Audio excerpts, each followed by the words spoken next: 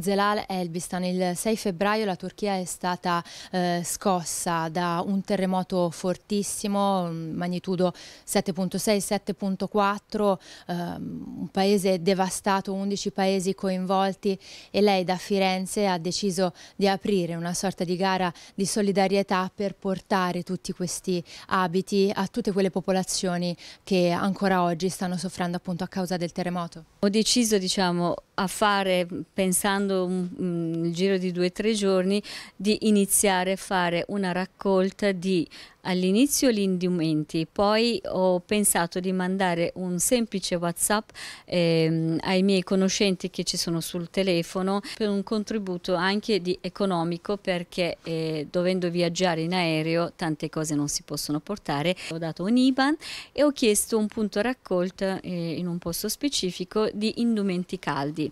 All'inizio abbiamo fatto dei, mh, dei cartoni, abbiamo potuto spedire perché c'era anche trasporto gratis ma dopo il governo turco purtroppo ci ha ehm, fermato, ha detto i vestiti usati senza cartellini non si possono eh, portare. Ho chiamato un, due negozi di vintage, vengono portano via eh, questa roba, in cambio lo trasformiamo in denaro per acquistare altre stufe tende in Turchia. Lei mi diceva, ehm, diciamo, tutto questo che voi eh, raccogliete andrà principalmente ai villaggi, perché è lì dove ci sono maggiori difficoltà a reperire del cibo. Nei villaggi vivono più gli anziani e l'aiuto non arriva, non sono morti, per fortuna sono vivi, però le strade sono interrotte, per cui ci vuole un particolare tipo di macchina e particolare attrezzatura diversa per raggiungerli.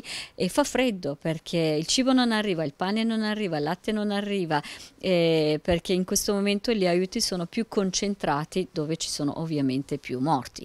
E noi arriveremo eh, dove hanno più bisogno i bambini. Partirà lei personalmente? Parto io personalmente dopodomani, il, il 25, da Bologna e vado direttamente a Adana, dove viene mio cugino a prendermi con due camion. Già la notte del 25 iniziamo a fare il nostro tragitto. Pensiamo di fare, credo, più di 1000-1500 chilometri.